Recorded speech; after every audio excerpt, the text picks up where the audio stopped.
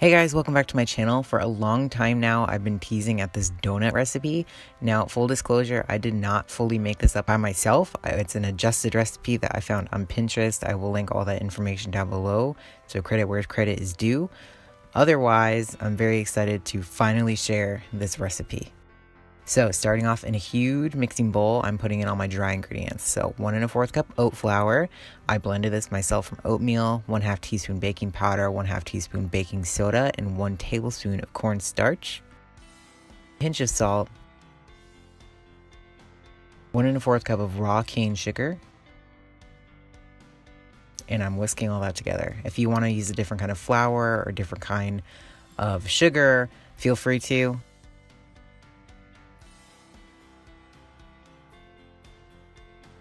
And in a smaller bowl, I'm going to prepare the wet ingredients. Going in with half a cup plus two extra tablespoons of almond milk, one teaspoon apple cider vinegar, one teaspoon of vanilla,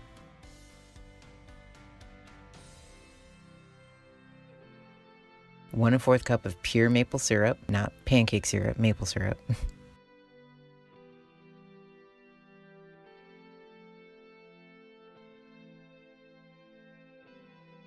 Then I'm using this frozen berry mix as my filling. It's got blueberries, raspberries, and blackberries. Here's where you can add like chocolate chips or like carrots and walnuts and cinnamon. You can make pineapple upside down cake with these.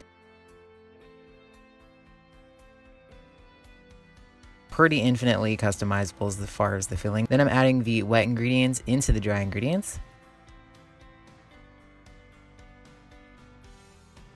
Mixing that super well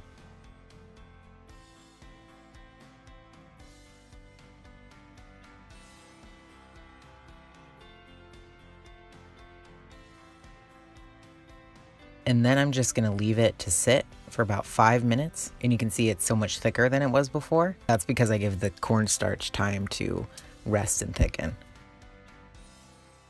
So here is my silicone donut pan. I'm making six donuts today, so I'm gonna ignore that hole in the middle. I use a fourth of a cup to scoop the batter into the mold. I've tried this in a silicone pan and then just like regular metal pan. I actually prefer the metal one personally, and I've tried it oiled and unoiled. I found it doesn't make a whole lot of difference, so that's all on personal preference.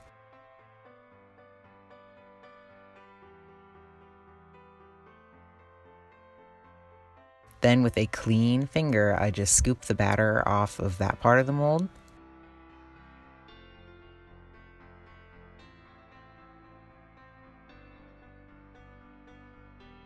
Baking this at 350 degrees for 13 to 15 minutes or 20 to 25 if you're using a silicone pan like me. Now, depending on what pan you have will also determine this next step. So, because I have silicone, I had to let it cool completely, completely before even attempting to pop them out of the mold. Otherwise, they will just fall apart. But if you have a regular metal pan, you can let it cool for like five minutes and then flip the pan over onto a cooling rack and then let it cool the rest of the way. I like that better, especially when I'm trying to make more than six. And after they're completely cooled, you can add whatever frosting or sprinkles or decorations you like. Sometimes I like to drizzle a little bit more maple syrup on the top and add some crushed walnuts or something. Everyone I've ever made it for has loved them. I've made them so many times. Huge fan. But yeah, hope you enjoyed. See you guys next time. Bye.